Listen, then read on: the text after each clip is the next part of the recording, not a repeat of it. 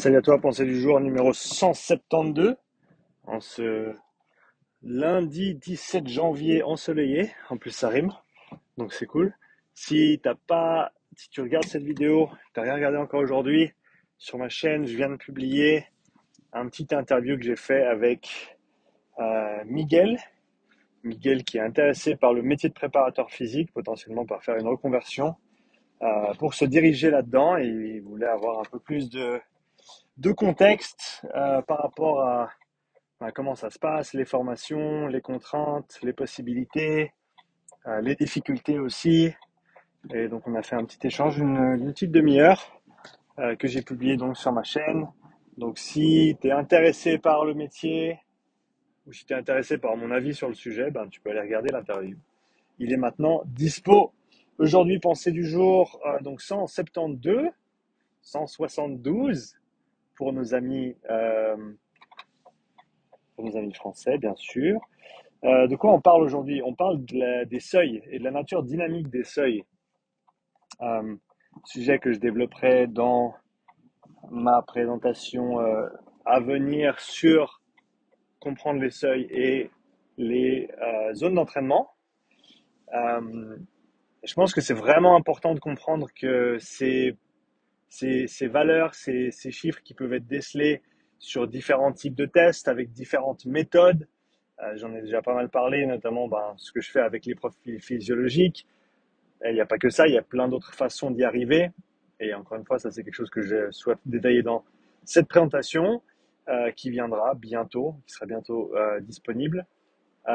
mais c'est pas des chiffres qui sont figés que ce soit des valeurs de fréquence cardiaque, que ce soit des valeurs de puissance. Euh, c'est de loin pas des valeurs qui sont figées c'est important de comprendre à quel point ils sont dynamiques et euh, aussi ben, simplement pour pouvoir ajuster les entraînements au fur et à mesure. Parce que faire un test à un moment donné, à mon avis, c'est bien, c'est pertinent si ça nous intéresse et qu'on n'a pas d'autres moyens de déterminer nos intensités d'entraînement, mais ça ne veut pas dire que tu fais ton test et après tu bases toute ton année de travail sur ce test. Je pense que la, plus grande erreur, elle est là. Et parce que sinon, ben, sur les deux premiers mois, trois premiers mois peut-être, et eh ben, tes valeurs d'entraînement, elles vont être entre guillemets justes. Mais ben, six mois plus tard, si tu as bien fait le travail, tes seuils, ils ont bougé, tes zones d'entraînement, elles ont changé, tes zones d'intensité ont changé, et donc maintenant, tu t'entraînes plus à la bonne intensité et tu n'auras plus les, pas les effets que tu recherches. Euh, donc c'est vraiment important de mettre les choses à jour. Et pour illustrer ça, ben deux, deux exemples. Un qu'on verra un peu plus en détail, euh, un qu'on verra un peu plus en détail en fin de semaine. Je vais faire un zoom avec Loïc. Loïc avec qui on avait fait un test en fin septembre, début octobre, fin septembre, et euh, qui a fait un retest cette semaine. Et ben pour lui, avec euh, très très peu de travail, et je pense que c'est pour moi le truc, un des trucs les plus intéressants qui ressortira euh, jeudi quand on fait le, zoom avec Loïc, c'est qu'avec très très peu de travail, a une intensité relativement basse, et ben on a quand même vu une amélioration euh, ben, de son premier seuil de l'ordre de 20 watts. De l'ordre de 20 watts, de l'ordre de, si je ne me trompe pas, 10 battements par minute au niveau de sa fréquence cardiaque de différence entre la dernière fois et entre maintenant. Donc, en, voilà, en trois mois de travail, à raison de, bah, disons, une séance par semaine, pas très longue en plus, eh ben, il est capable de faire remonter son premier seuil de 20 watts. Euh, ce qui est assez cool quand même. Ce qui est assez cool. Mais de se dire que, ben voilà, si il était resté sur les valeurs de base encore euh, même un mois ou deux, et eh ben du coup, ces intensités d'entraînement, elles auraient été de, de moins en moins, euh, moins en moins euh, exactes, étant donné qu'ils devenaient de plus en plus fit, en gros. Euh, le deuxième exemple, c'est le, bah, le mien, vu que je, je, je fais un suivi assez rapproché de, des entraînements que je fais.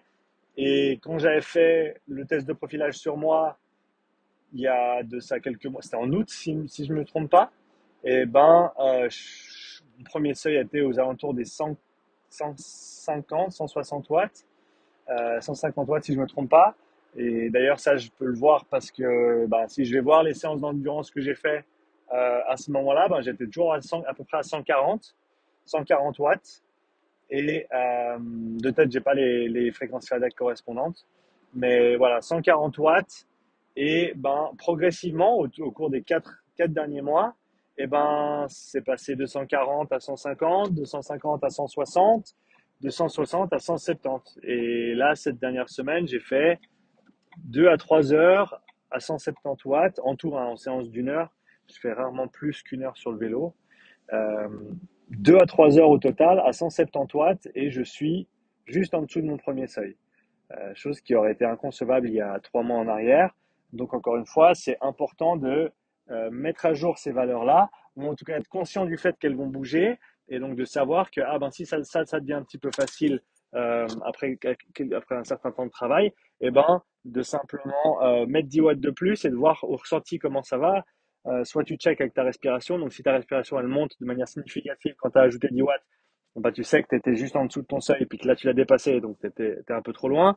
Soit tu check avec ton DFA alpha 1, comme expliqué dans une ou deux vidéos sur la chaîne. Euh, et donc, et même si c'est périodique, ça n'a pas besoin d'être fait à chaque entraînement, mais ça te permet de t'assurer que tes valeurs d'entraînement soient juste par rapport à toi. Euh, un autre exemple, euh, ben, dans l'autre sens, c'est une athlète que j'ai testée récemment qui adore faire du fond sur son vélo. C'est pas son sport principal, mais elle s'entraîne beaucoup en vélo et en complément à son sport. Et elle s'entraînait, ben elle, c'était voilà, 140 watts. Elle était à 140 watts et elle faisait du 140 watts. Et ça faisait à peu près une année qu'elle faisait sa base à 140 watts.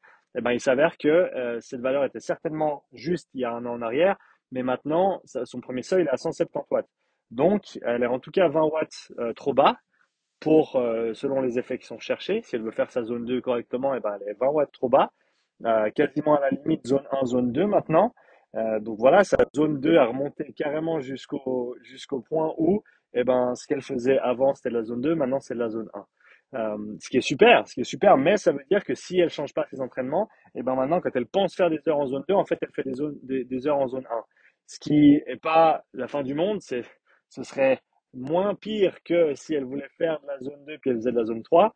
Euh, mais en même temps, bah, ça va pas lui apporter les adaptations qu'elle recherche. En tout cas, pas autant que ce qu'elle pourrait développer avec des intensités qui sont bien calibrées.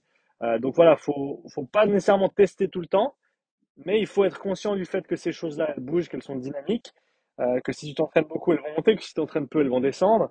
Et, donc, faut être flexible. En tout, cas, nous, en tant que coach, il faut qu'on reste flexible avec ça et qu'on pense à ces choses-là et pas qu'on reste fixé sur une valeur pour cette personne à ce moment-là et euh, pour toujours dans le temps. Parce que non, si les gens ils font leur travail, eh ben ces, valeurs vont augmenter.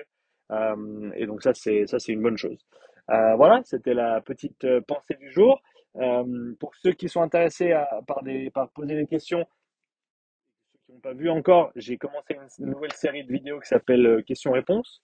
Euh, donc, n'hésite pas à poser ta question dans le formulaire. J'ai fait un petit formulaire, comme ça, ça me recense tout sur une fiche Excel. Et puis après, je peux poser les questions dans l'ordre parce qu'avec les DM, je m'en sors plus.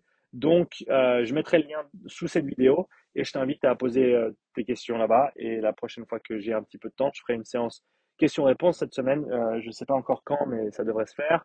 Euh, peut-être demain, on verra. Et puis, comme ça, je pourrais répondre à plusieurs questions en même temps. Euh, quoi qu'il arrive, je te remercie. Oublie pas de liker la vidéo. Oublie pas de t'abonner si ce n'est pas déjà fait parce que c'est gratuit et tu peux toujours changer d'avis. Je te souhaite une bonne après-midi. Profite du soleil et puis à tout bientôt. Allez, ciao.